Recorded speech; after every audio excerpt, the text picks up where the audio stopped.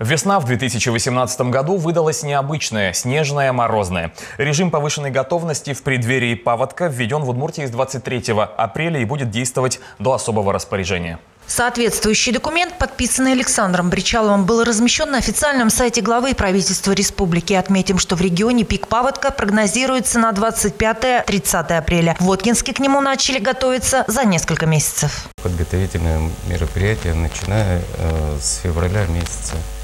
Э, до этого э, в октябре-ноябре все водоемы, которые у нас находятся на территории города, э, силами обслуживающей организации благоустройства опускаются до минимального уровня.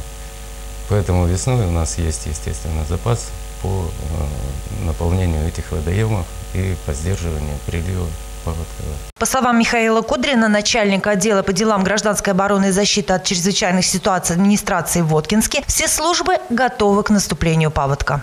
Водоемы находятся все практически на нижней меже. Э, Воткинский пруд э, Министерство природных ресурсов поддерживает на минимальном уровне на данный период.